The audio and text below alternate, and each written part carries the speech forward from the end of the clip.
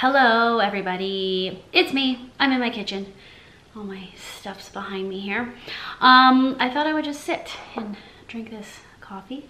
This coffee cashew latte thing. And um, I haven't done a video like this where I just like sit and talk about what's been going on. And I think in one of my last What I Ate in a Day videos, I, would, I was alluding to the fact that I was gonna talk about Mike Dooley and Lorna Byrne because I went to a Mike Dooley, Lorna Byrne workshop. This goes back now to uh, like September that I went. Anyway, so I thought I would just come here and talk and see where it all leads. But um, yeah, it's been an awesome couple of months and I don't know if I'll do another video like this before the end of the year. So I'll give you all the updates and everything here too. Um, if you've been listening to the podcast that I've been on lately, you can go to my Instagram at Lauren Toyota and I've um, highlighted all the podcasts I've been on in a little highlight so you can listen to them all. Um, there's Jessica Renane's from a while back. There's Manifest This twice. There's Chloe's Countertop. The reroute, the reroute one with Eamon and Beck. Um, a bunch. So I've announced a lot of information and talked about things I think more in depth than I really have on YouTube in a lot of those podcasts. So you should go listen to those. If it's not out already, I was also on Forked Up, which is the Thug Kitchen podcast, and I went and met Michelle and Matt um, to do that when I was in LA. I went to LA um, the beginning of November, and yeah, that was awesome. So if it's not up, it will be up. If it's up, go listen to it. It was super fun. They wanted to talk about the breakup and all that stuff because they've also done that. And what's interesting is that I wanted to find my phone in case I needed to talk about something. I can't seem to find my phone though. Found it. Also, I got a new phone. new case, new phone. Who this? Um, it's the iPhone XS. Not sponsored. They'll never give free phones away. Anyway, what I was going to say is what was interesting about talking with Michelle and Matt about my breakup with John on the podcast so candidly is that by the time that came around to do that, I was like really ready to do that and I hadn't been before. I think when you saw some of my other What I Ate in a Days, like those were recorded a month before they actually aired. And so a lot has happened since then and a lot has developed since then and a lot uh, of letting go and healing has happened since then. So I'm in a way better place.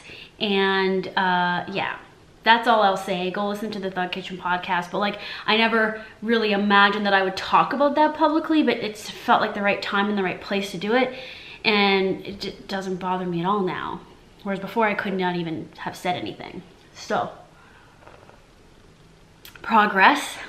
Um, yeah, so in September I went to I think it was called Talking to Your Angels. It was a workshop with Mike Dooley and Lorna Byrne.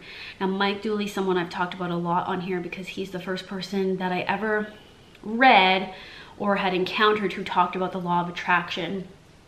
And he always says the thoughts become things. So that was my first introduction to him a few years ago and kind of how I started getting on board with that language. And then Abraham came after that. So when I knew he was coming to town for a workshop, I think because I follow him on Instagram and I saw he had tour dates and he was coming to Toronto, I was like, I'm going. Without fully realizing that this was a Talking to Your Angels workshop with Lorna Byrne. And I didn't know who Lorna Byrne was. But I was like, I'm to go regardless. He'll talk about his stuff the way he talks about his stuff. And it'll be like basically Mike Dooley workshop. So I went by myself and um, it was in Toronto. And it was an incredible day. Um, Lorna Byrne is a healer, a teacher, I don't know what she calls herself, author. I'm a huge author and she talks to angels and she's basically seen angels since she was a baby. She would see angels the way she sees humans. So she gave her whole background and I knew nothing about her. Um, and even, look, the idea of angels isn't something, it's not something I talk about or, or like have a, like I guess a reference for where I'm not always like, talking to my angels, talking to my angels. I'll say things like talking to my guides or getting guidance from spirit. She sees angels and they, they have distinct looks and things like this. And she explained what angels were. She said that angels are, I mean, if you read any of her books or anything online, you can learn about this. But, um, you know, there are like Archangel Michael and things, you may have heard words like that in meditations and stuff. Um, but there's also different types of angels and she broke that down. She talked about how there are are angels that you have like a, an angel, guardian angel. And she was like picking people out of the audience and like telling them what their guardian angel looked like. And she had everybody like figure out their guardian angel names and stuff. Crap, I don't remember mine. I'd have to look at my journal. But anyway, um, I've done other guided meditations like that too before where, you know, you meet your spirit guides and stuff. And I think my belief is that you have more than like one guide. But she says you have one guardian angel and then you have these worker angels, I think she's what she called them, um, that just want to be used and you can call upon them for anything. Like they just want to be used for tasks, like busy bees. And they're just there all the time. She's like, they're there all the time and they just like want a job. And you can call upon them like, I can't lift this, help me lift this. Like, um, keep me safe while I'm driving or like whatever. Um, and so she was pretty much encouraging people to just, I mean, what harm can it possibly do? It might feel silly if you don't believe in this stuff or you have no reference for it at all, but it's like, what's the worst that could happen? You'll be guided or you'll have some protection around you. Like, if nothing else, if you falsely or placebo in a way believe it, then I don't think there's any harm in it. So, I thought it was really interesting just to kind of have a language about angels and have her describe her journey. She was basically um, considered, she said the word retarded because back in the day people said that. So she was considered retarded in school and was like sent to the back of the class and not paid attention to. She learned everything she ever learned from angels. She didn't know how to read or write. She was dyslexic, I think. Maybe she wasn't autistic, but she was dyslexic. I'm sorry if I'm getting any of this wrong. I'm just pulling it from memory. Um, and so she wasn't given any guidance or help in school. She was just relegated to being like inept. But she was meanwhile learning from angels and receiving all this information like as a child, which is so cool. And then of course she ended up being a published author. She said the angels helped her write books because she didn't know how to read or write. Um, so it's all kind of like channeled material from the angels. Um, I think her best-selling book is called Angels in My Hair, and she has another one called Love from Heaven. I've never read them. I don't even know if I will. Like, I don't know if the the medium of angels is necessarily something like I want to dive deeper into, but it was super useful. And the thing with having Mike Dooley there is Mike Dooley talked about the synchronicity in them meeting and putting together this workshop and this tour. And it was very synchronistic and magical, of course. And she was told by her angels to contact him.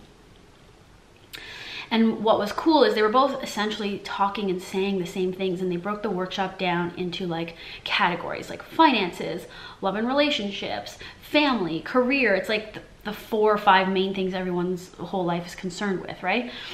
and then they were trying to address kind of you know he would apply everything under his lens of the law of attraction and thoughts becoming things and um, kind of miracles and magic in the universe that's happening all the time but that you don't really know in, until hindsight. Um, you know like you don't know until hindsight in your life that things turned out exactly the way they needed to and that everything was divinely planned and perfect.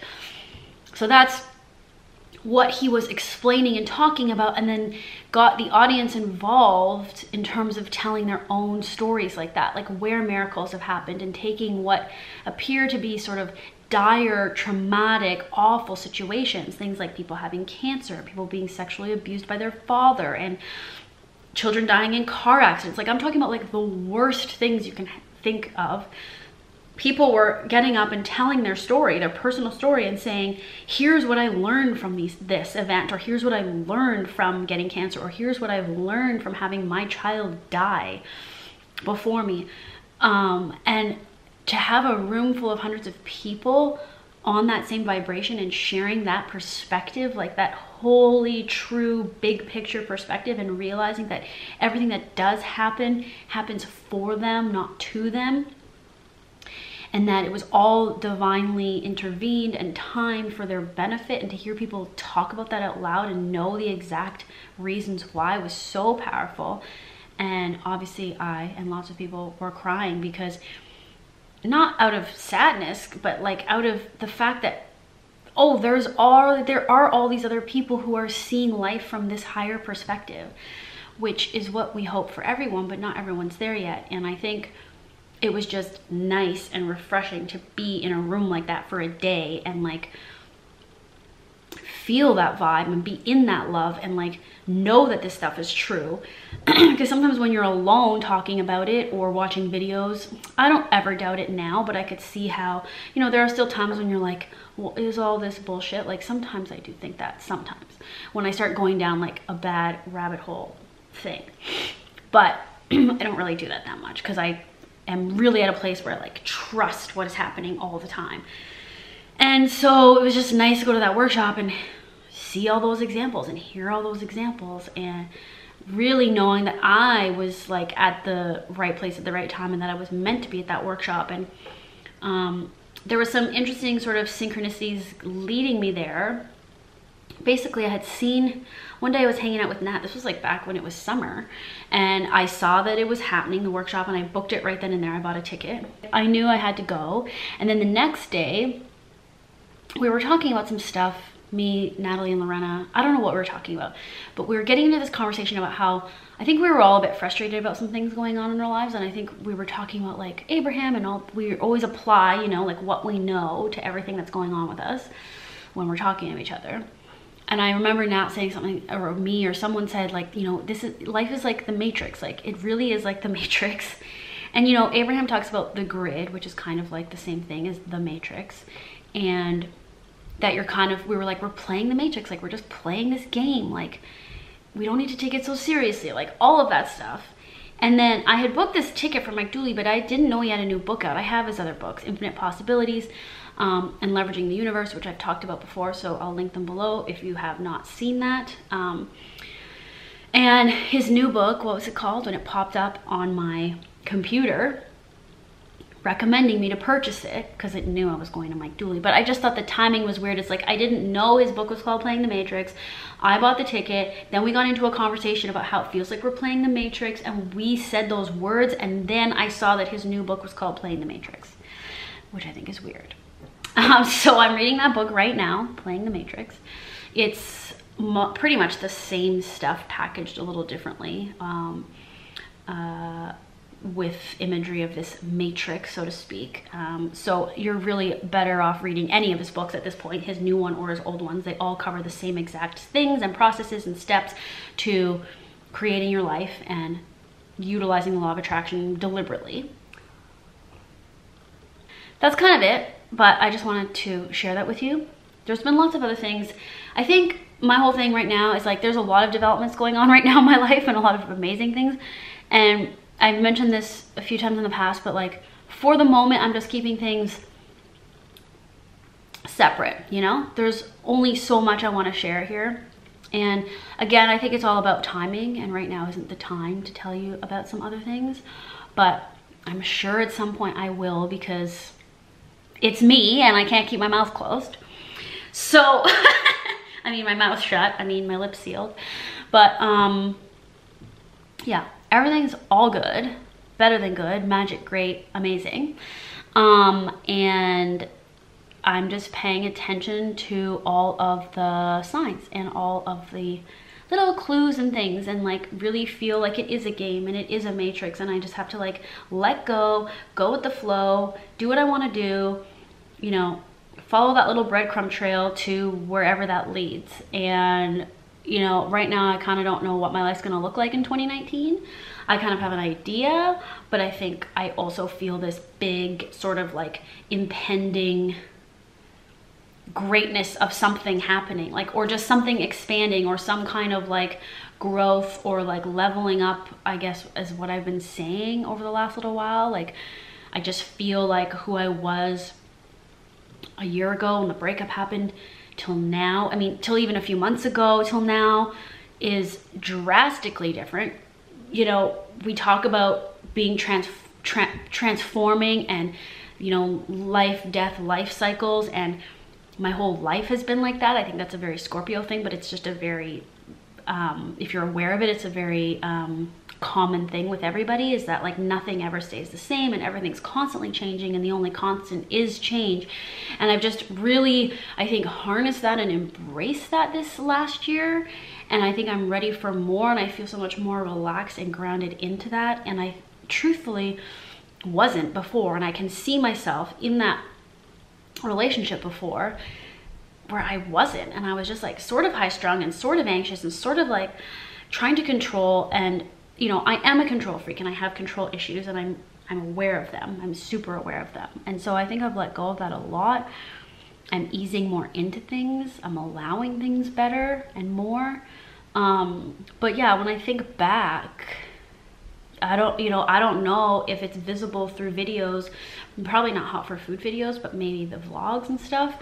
Um, because you've seen me traveling with friends and with Timmy versus like when I traveled with John and whatnot. And you know, I don't go back and observe this behavior, but I know when I think back, like just everything is different, obviously. But I feel like I've changed. And I, oh, what I meant to say is I feel like I have shed a skin like a snake. Like I just sort of feel reborn. Like I feel like certain habits and behavior has been reprogrammed to a degree and I'm just not at all in the same perspective or headspace that I was. And, you know, I think it has to do with a lot of things. I don't think it just has to do with with John, but I think that a lot of my life mentally was consumed by John and a lot of my attachment was to John and I think that that was affecting me in maybe unhealthy-ish ways. Although the whole thing is in hindsight it's like you know that it was for the benefit of you. And I think,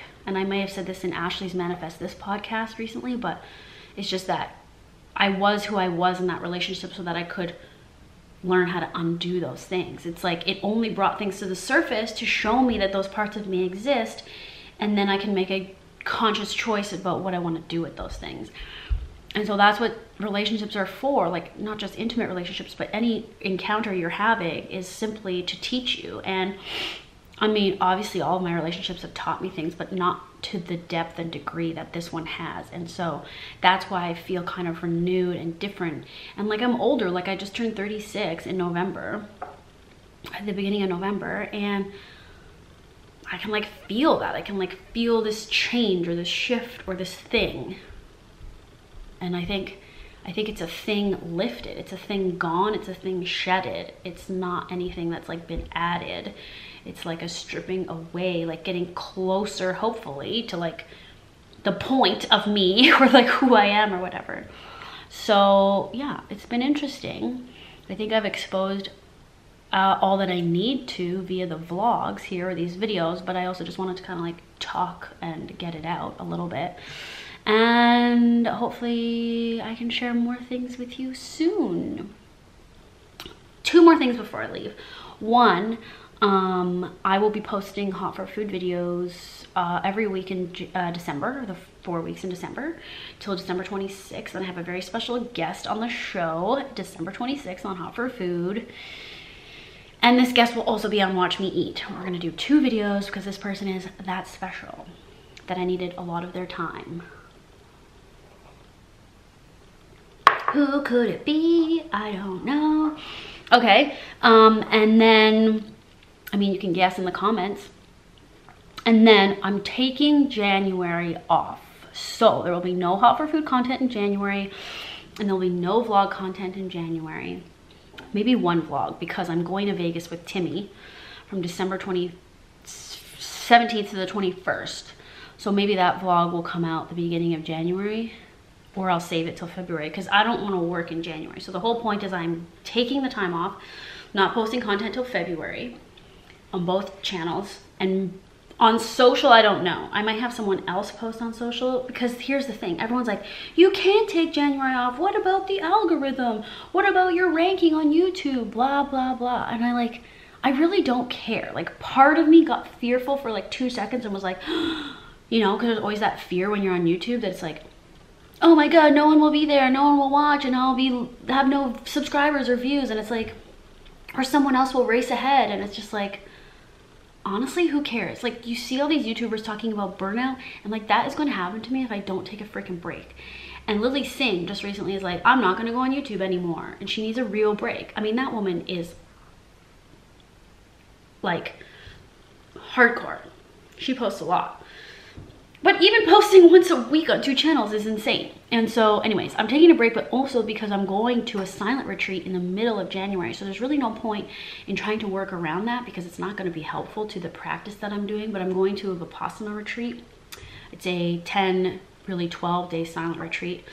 And so I'm going to that. So I've never not worked for any day in my life ever. Um, even when I say I'm on vacation and I'm not working, I'm still going on my phone, I'm still posting on social media, or I'm still shooting a vlog. And even prior to doing this business, even in television, I never had like real time off and I still would go on social. It's like, no, I'm gonna actually have my phone in the glove box of my car while I'm parked at the Vipassana retreat and I won't be able to access it for 12 days. And I can't journal and I can't talk to anybody. And I'll be meditating every day for like hours a day alone in a group. I have to wake up at 4 a.m. I don't get any coffee. I mean, can you hear how much I'm rambling right now? Like, how on earth is Lauren Toyota gonna do a silent retreat for 12 days? What's gonna happen when I come back? I have no idea, but talk about transformation and shedding of something. Something's gonna happen. I don't know if it'll be as profound as some people make it sound. I think, you know, maybe it'll be very anticlimactic and life will go on, but obviously I'll realize certain things and I don't really even know what's gonna happen. So I'm very curious. If anyone's done it, let me know your experience in the comments if you're willing to share. You can always DM me. Um, but I'm looking forward to it. Uh, I think it's something I need. It's, again, kind of like a thing to take my meditation practice to that next level. Explore more of that, my internal world, which I'm trying to make more of a priority because I think that's how I can grow this business better. So not that my priority is my business, they go hand in hand, but I really need to focus on me and inside and my personal life in order to like give in this outward way. So that's what's happening.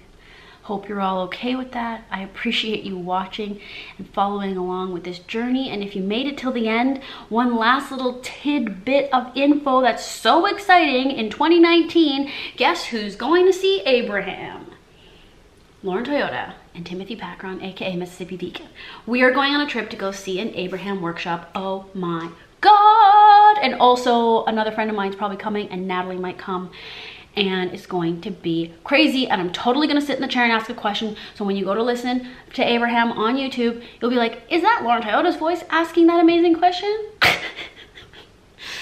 yeah that's what's gonna happen. And then things will really level up. I mean after being face to face in the room with Esther and all of the Abraham people I mean who even am I going to be in 2019? but I hope you still follow along on the journey, on the adventure, and sh keep sharing. And um, love you all. I'm going to go now. Thank you for watching this long update and storytelling vlog. Um, leave questions below for any Ask Laurens I could do in 2019 for you. And yeah, I think that's it. Okay. Bye.